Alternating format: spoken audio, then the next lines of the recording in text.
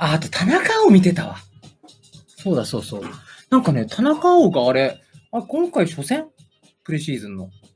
なんかね、あの、田中碧がちょっとごつくなってて、で、プラス、なんかすげえ足元硬く感じたんですよね。俺だけかなもうこれがただのちょっとした心配だったらあれなんですけど、プレシーズン初戦でちょっと硬かったのか、なんかね、あの、ファーストタッチの置きどころとかがちょっと伸びたりとか、あれ？前だったらそこ逆ついてターンしたりしてるよね？みたいなさ。あ、リーグ戦の開幕戦なんだ。なんかね、田中碧が、もう、もう僕の感覚的なところなんでね、こればっかりは。ドイツにはもう開幕してんだ。そうだから肉体改造して硬くなったのか、何かしらが変わって硬くなったかわかんないけど、めっちゃうまいんだけどね。僕だけですかね、感じたの。田中週3筋トレですね。あ、そういうの出てんだ、情報。うまいんだけど、めっちゃうまい時の田中に比べて、そう、なんかね、気になるシーンが多かったですね。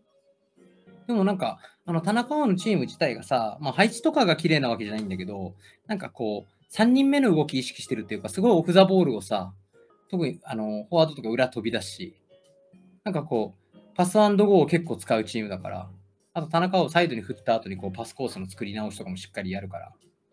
まあ、あの、あのチームだと配置良くなくても、あの瞬間瞬間でパスコース顔出したところに、田中をだったらさせるからいいかな、みたいな風に見ながら思ってましたよね。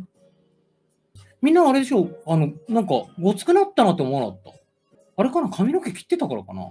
単発になってたなんかちょっと王子様感っていうより、すごい精悍な感じの、周りが小さくなったんじゃない？あ、その、そっちか。やっぱごつくなったよね、あれね。